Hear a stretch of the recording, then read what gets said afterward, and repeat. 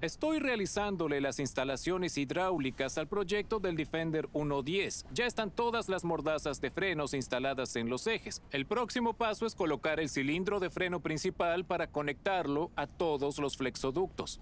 Lo único que hay que tener en cuenta de nuestro motor diésel de cuatro cilindros y su paquete de transmisión es que utiliza el ensamblaje de un embrague manual Jeep de 4 litros. Entonces puede utilizarse este cilindro de freno principal junto a este embrague hidráulico que estaba en los Jeep entre 1998 y 2007. Y por eso me di cuenta de que se puede utilizar el ensamblaje del pedal de ese mismo Jeep.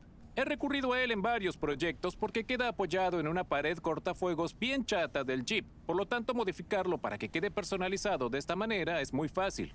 Al mismo tiempo, utilizaré el mismo ensamblaje del cilindro de freno principal y del motor de sobrealimentación. Lo usaré para mostrárselos, lo tengo aquí desde hace un tiempo para que todo quede en su lugar. Lo bueno es que el motor diésel tiene una bomba de vacío, por lo que se podrá utilizar el servofreno.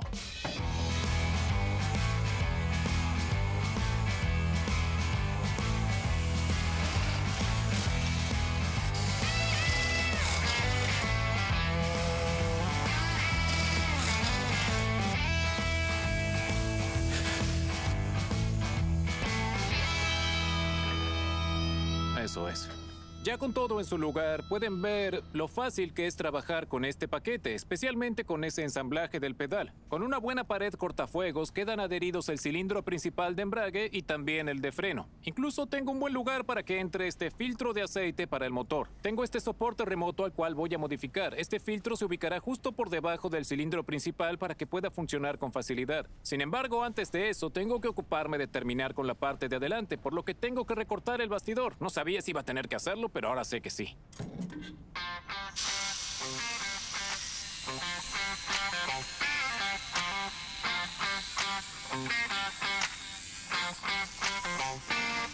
Tuve que recortar el extremo del bastidor para que encaje esta pieza de relleno de la parrilla, la cual es parte de la carrocería. Ahora que está en su lugar, puede verse cómo queda terminada la parte delantera del vehículo. Además, tengo una gran cantidad de espacio debajo del capó. Ese era mi plan. Sabía que quería empujar el motor lo más al fondo posible para que atrás hubiese un buen balance de peso. Ahora tengo abundante espacio para el radiador y para el interenfriador que podría ir aquí. El kit para la carrocería vino con todas las piezas auténticas de la parrilla del Defender, por lo que podré rearmar la parte delantera del vehículo e incluso colocar pequeños faros para que quede terminada.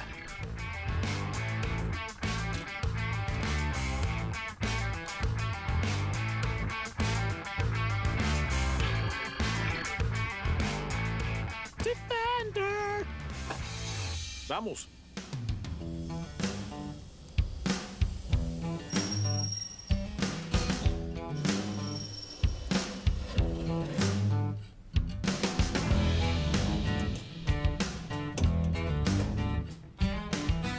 Perfecto.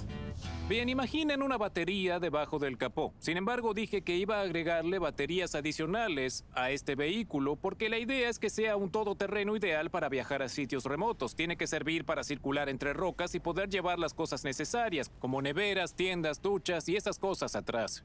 Al añadirle baterías adicionales a un vehículo, lo más difícil es controlar sus cargas. Entonces, el sistema que yo voy a utilizar de carga es una batería Redark DC a DC. Ahora colocaré en su lugar e instalaré la unidad de 25 amperios debajo del capó, en donde quedará segura. Sí, ahí está perfecto. El guardafango se va. Miren eso.